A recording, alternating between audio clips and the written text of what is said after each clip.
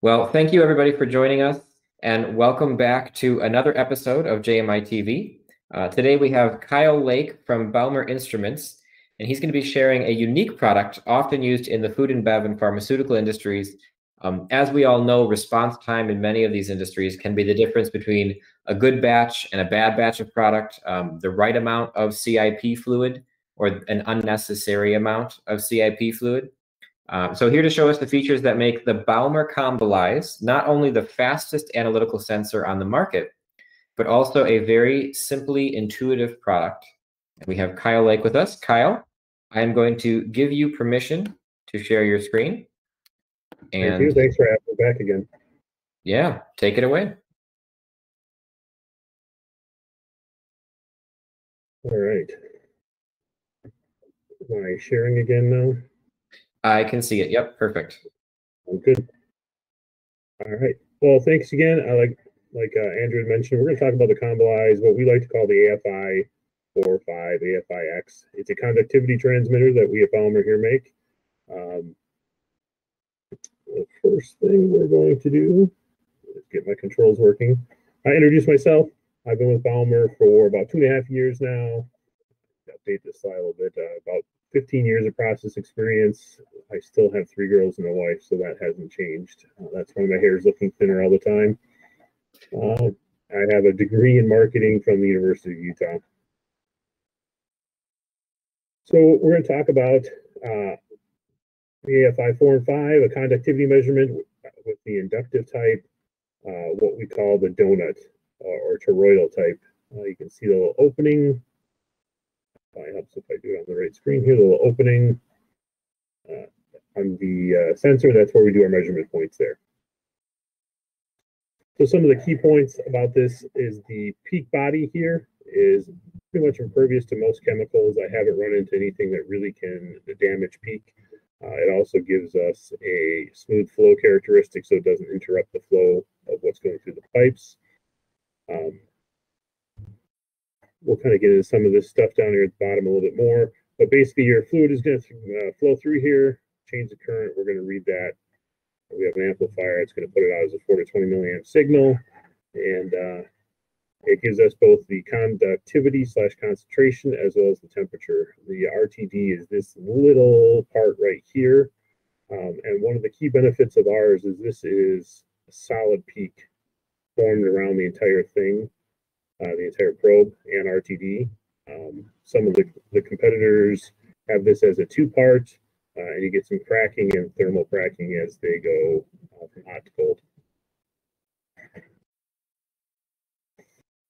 So again, the PT100, we do offer that as an output as well. So you can get the temperature as a separate 4 to 20. So it's a, a good way to measure what's going on in the pipe uh, from a temperature standpoint all the time and then when you need your conductivity for phase shift, cleaning, anything like that. So you can see here we have two different sizes. We're going to get into the, the ins and outs a little bit more. And uh, yeah. So we have our compact version. So this is going to be all in one, your transmitter with your dual 4 to 20 outputs and the probe right here. Uh, traditionally, when people think of conductivity or any kind of analytical measurement, they think of uh, the remote versions here, where you have your probe and a long cable that comes to a transmitter and then continues on with your 420 output. Um, we feel this compact version, it's, it's well built. It's an IP69K unit. It can easily withstand being on the machine. It can handle vibrations. It can handle a lot of things. Uh, the touchscreen display makes it easy to program. So when you're right there and want indication or programming, it's a good option. We do offer it as a blind unit. Um, again, uh, the cost savings with using something like this as a compact unit are just amazing. Um, while the whole unit itself is very cost competitive, um, there's a big savings when we go to the compact. We offer three insertion depths for the different size pipes and tanks you may have. Um, 37 millimeters, going to be for your smaller one inch DIN 25 pipes and smaller, uh, or if you have a real small tank. Uh, the DIN 60 is probably, the 60 millimeter is probably the most common. Uh, we use this in our uh, DIN uh, 50 pipes, so two inch pipes, And then 83 millimeters for large tanks are very popular, or if you have large three to four inch pipes. Um, when we insert this into the pipe, we want to make sure that the opening is into the flow. Uh, so we don't quite need to be completely in the center of the pipe, but we want to be as close as possible. We need to make sure there's flow going through the opening or the donut. Same thing for the remote mount, the different versions. Uh, because this is PEEK, and you can kind of see the angled area right here of the PEEK. When this screws into an adapter, you do get a 3A crevice-free fitting. So it is uh, perfectly good to be in contact with food and cleanable. Uh, if you do need a remote mount, we have two and a half, five, and 10 meter cables. Um, these are pre-made at the factory. It's a it's a matched pair, so they are calibrated together. So it's not something we're going to be re repairing on site. Uh, it will have to go back if anything were to happen. Just a little bit better view of it. Um, with the cable glands, you actually get an IP67 rating. Uh, with the M12s, you get an IP69K. Uh, that includes the, the display and everything as long as the housing ring is securely fastened. Uh, we have the ability for a what we call our bottom mount or our rear mount. So if it's in a pipe that's maybe above your head or that you're going to be looking down on, you might want to go with a rear mount so you can see the display a little bit better. Uh, we've got uh, one of the key features of the, of the AFI is the Dafan display. Um, this is used on all of our instruments with the display. It's touch screen like it shows here. Uh, the nice thing is all the different built-in values and displays you can get. And then when it goes into an air mode, it's actually color changing. So it is an actual back, backlit display. Uh, very easy to read. Some of the special uh, displays that are available with the AFI, uh, you've got your conduct, uh, your conductivity slash concentration and tagging, um, I like that one. I also use the, uh, the concentration of detail. So you may have this uh, tell you what's going through your pipe. So in the case of maybe a brewery, um, when you're doing a, a cleaning, it's going to tell you when there's water. Uh, you can also tag it to show you CIP, uh, then your beer, or whatever may be going through there. Also, if you're just looking for uh, phase shift and you want to see what's going through the pipes at any certain time, you've got your media label. Those are all programmable. And then your tag is going to be out of the, the unit itself when you put a tag in. So again, uh, you've got some great messages here when you go into an air. Uh, this can flash. It can just be red. Uh, it can flash white, green, the question is, how do we mount this, right? We have threads here, which everybody knows is not a 3A acceptable device. We have all kinds of different mounting options here. So we've got some weld-in for tanks. Uh, we've got weld-in for pipe. It's a G1 inch hygienic connection here. And this part is actually free moving. So you can actually rotate the display in the, the direction you want it as you tighten it. We have our tri-clamp connection. Uh, we're also going to use that function to make sure that the donut ends up perpendicular to the flow rate, so we get a good flow through the donut. Uh, we have our different DIN, uh, Varivent, uh, SMS, all those kinds of things, and the associated nuts to go with those.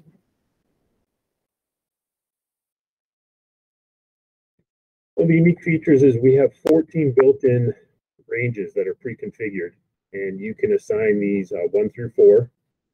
So the factory sets it up uh, with range one being zero to 200, what we see being the most common. And then you go down through there. Um, these are actually, you can switch between ranges remotely with the digital input. So uh, if you click it once, it'll go from range one to two. Uh, click it again, it goes to three. And if you have both active, it goes to four. So a very unique feature. So as you're cleaning or if your process uh, requires media that has a different uh, range that you want to be able to go through, you can easily do that. And then, uh, like I said, these 14 ranges can be programmed down here. Hmm. Just uh, yeah, kind of different. It's not something that everybody offers. Um, we'll get into another yeah. thing that we offer. That's um, it's good to highlight these things that are that are unique to the product. You've got obviously the color changing display, which makes it very simple to know um, when things are going well and when things need to be changed. And uh, the be to be able to change the ranges, and and I know that there's other other features that are very easily configurable like that. Um, is uh, is is very nice to highlight. And this is, I think you said this goes up to IP69, but you still get the touch screen, right? Correct. Yep. Mm-hmm. So uh, it's a great it's a great addition. You can program it in the field. Then um, you know, people always worry with the touchscreen. Can I lock it out? There is a password protection you can put in there so that uh, only certain people have access to it. Um, and then on top of the touchscreen, we do offer uh, two other ways to program it, which we'll highlight a little bit later. But uh, with our Flex Programmer, which works on pretty much all of our instrumentation devices, and then uh, as of last year, the AFI comes with IO-Link, so you can program through IO-Link as well. Perfect. So just to kind of give you an idea of some of the common things you're going to see in a process environment, um, you know, orange juice, apple juice, beer, milk uh, are down in here. These are easily ranges that we cover. Uh, you'll see that we we specify between 50 millisiemens to uh, 100 microsiemens. Uh, I might have that backwards. Uh, processed water, no problem. Uh, ultra pure water, you can see how low that is. When we get into this uh, ultra pure, pure water, um, that's, you know, there's another technology you're going to have to look at at that point in time. Um, when we get into this process water area, we can certainly read there. Um, our air factor might go off a little bit, but uh, it's it certainly can be used down there. So 10 is our, our real low end, uh, 50 is our 50 to 1 siemen is our sweet spot. So again, you can kind of see here, uh, phosphoric acid, hydrochloric, sodium hydroxide, those are all typical cleaning solutions for CIP, and then your process materials there. So we mentioned we have the four pre-configured ranges for the uh, conductivity, but one of the unique things that is offered in the uh, AFI 4 for something or AFI 5 at this price point is we offer concentration functions. So we have four predefined concentrations. These are typical cleaning solution concentrations so that you can turn these on and know that you're dosing correctly when you're trying to CIP your system. And then the last thing is we actually offer four versions that can be 30 point linearized for your, your own use. So you, if you have a custom fluid that you use to clean with or a custom fluid you want to track, and see if it's meeting specification, you can do that with this unit as well. Hmm. Again, very uncommon for a device uh, in this price point and with these features to include that. Um, if you look at some of the other kind of low end CIP devices that are out there right now, they don't offer anything like this. Yeah, you thank you for highlighting that because Baumer has quite a few features at this price point that are very unique and you just you just spit them out that you just talk about them like they're you know but yes that, that is another very unique thing. Thanks i appreciate it. So we're going to kind of go into the the meat and potatoes of it now right? The boring parts which is going to be all the the things we need to know. Uh, one uh, accuracy uh, by far in this again in this price point the most accurate you can get um, sample times of three seconds this response time is what's really unique for this device. Uh, two seconds for the conductivity uh, is category leading, but the 15 second temperature response time is by far the fastest on the market. And what this is really going to help us with is, as you mentioned earlier, in our phase shifts and our cleanings, um, when we get that temperature response, because the conductivity and measurement is temperature compensated. So uh, the faster we can get that temperature, true temperature, the faster our unit can respond and give you time to uh, maybe cut off the cleaning chemical sooner, uh, save more product as you're cleaning out with water, whatever the case may be. Um, so that's industry leading right there. And then I had mentioned earlier the use of IO-Link.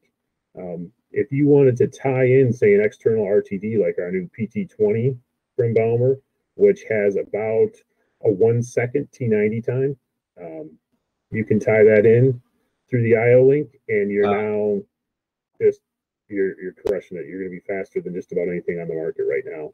Uh, another option. What I mean, you're talking about this. What are some competition response times that are that are standard at this price point? I think I've seen 45 seconds.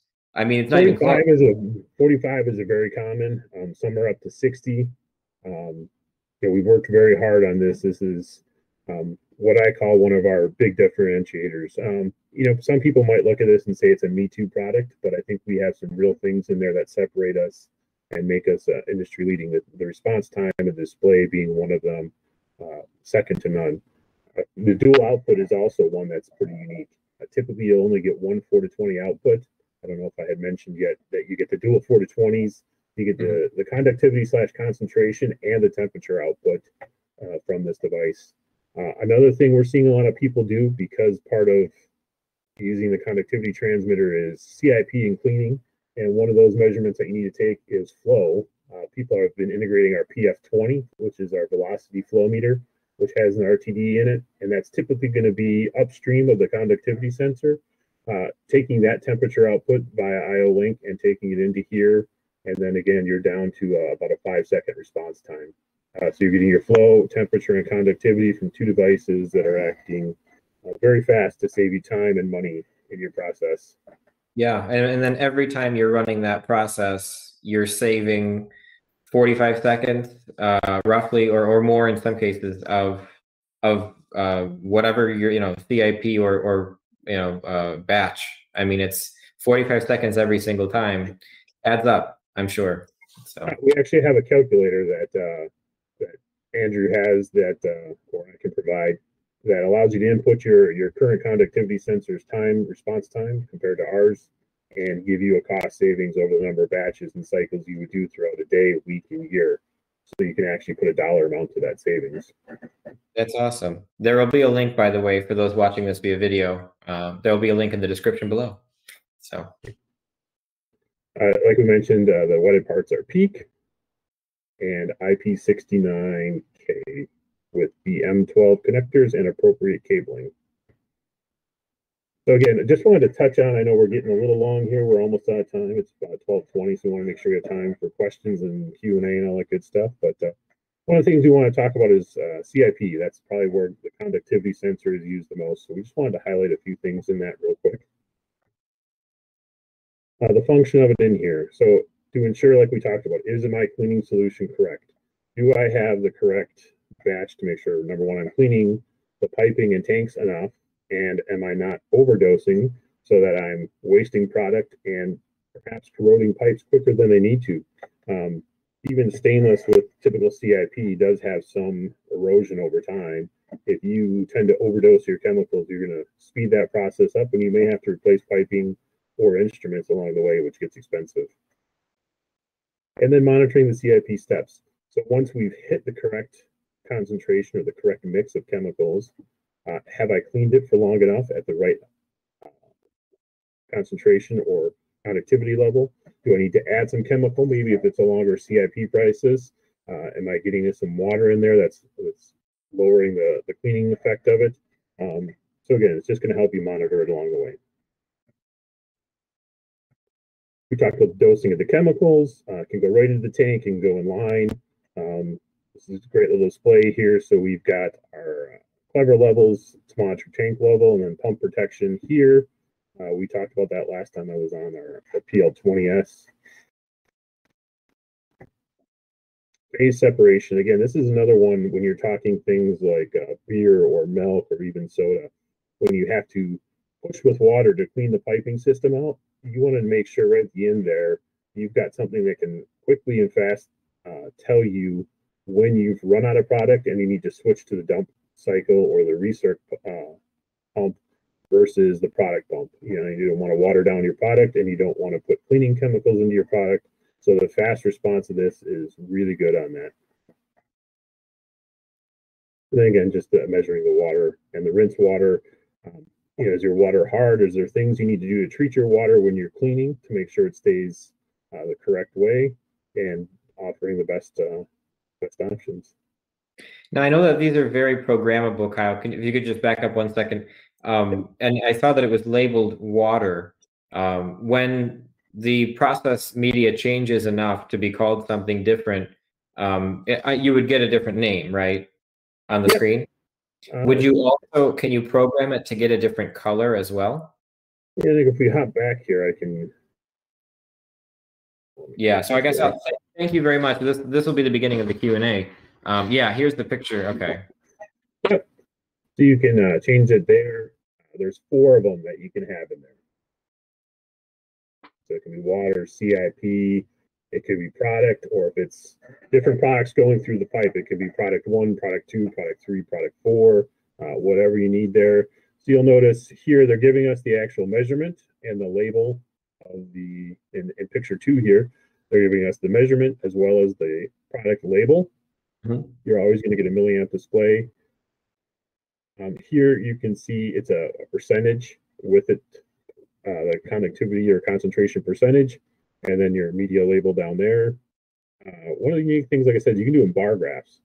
So maybe from a distance, I want to know if my concentration and my temperature here are where they're supposed to be. So from a distance, I can see on a bar graph what's going on in the system without being up close. So another unique option. Um, if you go back to some of these other ones, I know we, I always laugh about this, but uh, there's always someone in the plant. I like to see an analog gauge. I want to see a needle move. Well, we can do that for you too. Um, so from a distance, they can see where that needle is and they can decide if they want to come over and check it out further or just keep doing whatever they're doing. Little something for everybody. So, well, thank you, Kyle. We're going to open it up to the live Q and A now. I'm going to go ahead and check to see uh, what people have thought. But thank you very much for the presentation.